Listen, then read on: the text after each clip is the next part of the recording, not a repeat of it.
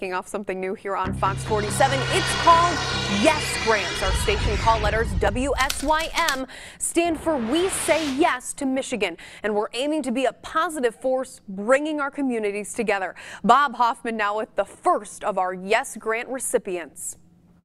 We're here at MSU Wharton Center to present a check to the Lansing Symphony Orchestra. The Scripps Howard Foundation is proud to partner with WSYM Fox 47 in supporting nonprofits that promote youth and performing arts with a goal of giving light, changing lives. Today we're here with Courtney Millbrook along with Krista Manti from the Lansing Symphony Orchestra. Courtney, tell us a little bit about the Lansing Symphony Orchestra. Sure. The Lansing Symphony Orchestra has been part of the community for 87 years. We present classical concerts, pops music, chamber, and also educational programming.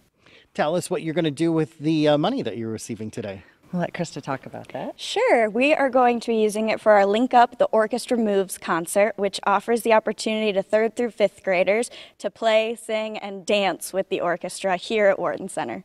Well, congratulations to you both. I want to introduce you to Cindy Kangas, who is the Community Affairs Coordinator at Fox 47, along with Gary Baxter, who is the General Manager, to present the check. Hello, on behalf of Scripps Howard Foundation and WSYM Fox 47, we are so pleased to present you with this check for $1,000. We hope that you can continue to do wonderful things in the community. Thank you so much Thank you for all so you much. do. Thank you. Congratulations.